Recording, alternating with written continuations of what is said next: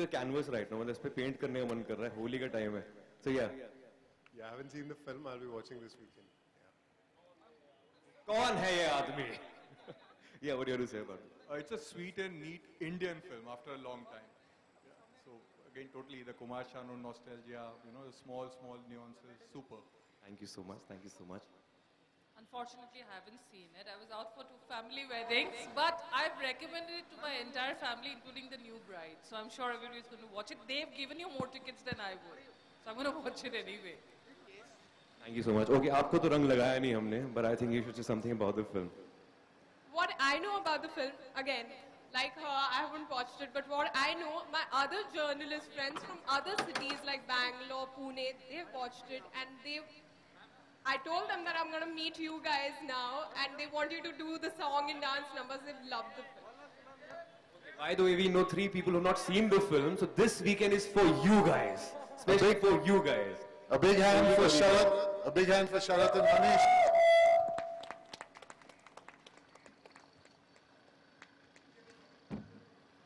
A big hand for Sharat Kataria and Manish Sharma, ladies and gentlemen. Sharat, the director, Manish, the producer. Guys, please let's give them a big round of applause. I made the film. What else to say? Manish Sharma. Uh, you can start your questions right मेरे को. ऐसा लगता है कि हमारी film ये black and white बन के आए हैं आज सर हमारी 90s की फ़िल्में 60s की नहीं है 50s. See, what matters is what you guys are wearing, na? You are very much in the 90s zone right now. अब हम पुराने जमाने के ब्लैक एंड व्हाइट लोग ही हैं अभी तो एक फ़िल्म का डायलॉग है ना हम ठहरे प्राचीन भारत के सभ्यता के अवशेष। Anyway think we should start with the questions go for it guys hello hi I am Pankaj Sabnani from glamsham.com can you me I want to ask was it intentional on your part to have low key promotions before the release and to have word of mouth publicity and then Uh, promote the after it got the release and the word of mouth? So was it intentional on your part? Uh, yeah, it was very much intentional actually. Uh, act- see, the thing is, after seeing the film and uh, having had a certain faith in the story and the content, uh, one felt that maybe it is a good testing ground to try something uh, this way, wherein there is not a hardcore publicity, where uh, the film is, uh, you know, uh, is unveiled in front of the audience when it comes out.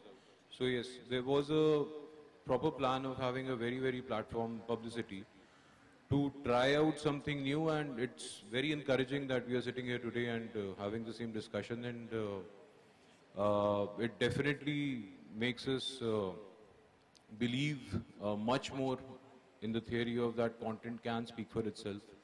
I know it's not the norms norm anymore in terms of uh, planning the marketing of any film, but uh, it's it's really really reassuring that it can work like uh, in this way as well. Uh, and after a long time, we have seen such a film which has got positive reviews from all quarters. So, did you expect that Ayushmann Bhumi? Um, were you expecting the film to have such a good response? Uh, well, without sounding immodest, I was expecting that. And uh, see, the thing is, uh, some movies uh, by default are little more review friendly uh, because of the nature of the film, because of the aesthetic of the film, because of the storytelling of the film. And in that context, definitely Dum Lagake Haisha had something going for it.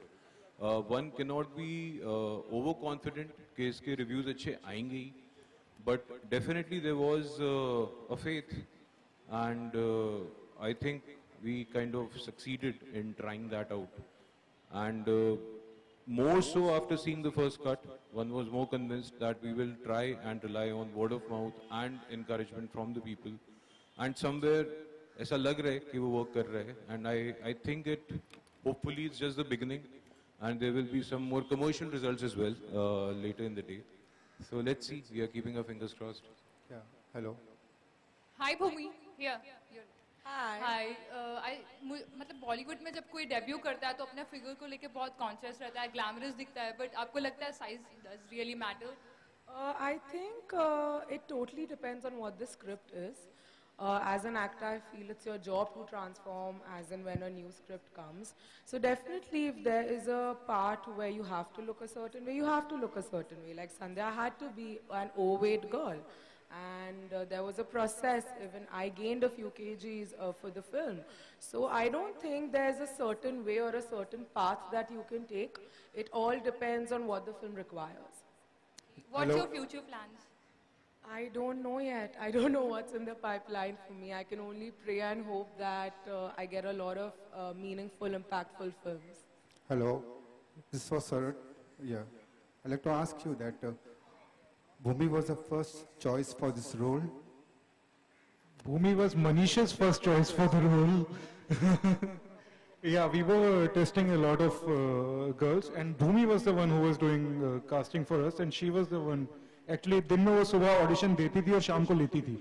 तो so इस तरह से होता था situation तो या मुझे convince होने में थोड़ा टाइम लगा था लेकिन फाइनली आई थिंक